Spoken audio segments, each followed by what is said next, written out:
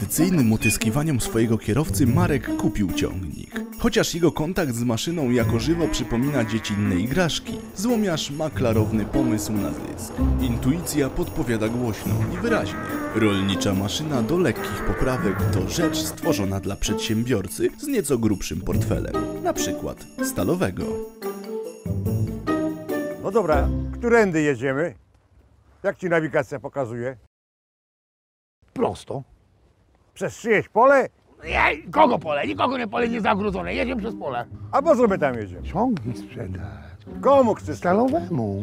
A powiedz mi, po co stalowemu twój zasrany ciągnik? Za, że zarobisz pieniądze. Ja nie wsadzę w niego pieniędzy, bo nie mam. On ma pieniądze, on stawi, wyremontuje go, wyszukuje go na tip-top i go sprzeda.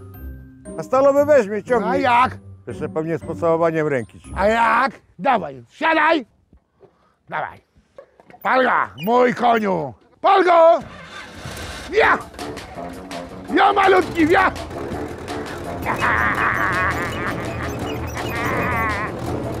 Dawaj, jedziesz, dawaj! Dawaj! Ja! Ja! Ja malutki, ja! Marek, daleko jeszcze? Nie wiem, chyba gdzieś tutaj, bo tu pola i pola, wszędzie i lasy, no! Ty patrz! Leci, zobacz, jedzie!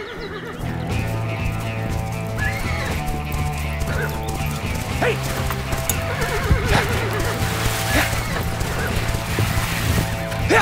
Piotrek jedzie! Nie mam mordo! Siemasz, no, siemasz przykaz! Siemasz mordo! Ach ty stary wariacie, co ty tu robisz? Traktor jedzie! Co? Z traktorem jadę! Ach ty, ty, ty! Mordalu jeden! Zejdź z tej kabanowska ładnego. O, Ty nie ucieknie? Cześć nie ucieknie to trenowana bestia. Poznajcie mojego przyjaciela Akorda. Ładnie. Jak, jak, jak? Akord, Akord? Taki akordzik.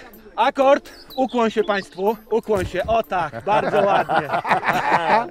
Ty, koń ładniejszy od pana. Człowieku. Piotruś, zobacz co mam. Skąd ty żeś go tutaj wytargał? No to od, od baby niedaleko kupiłem. 12 km jadę nim. On jest na chodzie, 60. Wrzucisz parę złotych i dobrze zarobisz. Słuchaj, jesteś szalony. A jak? Wiesz, że ja ciągników nie kupuję.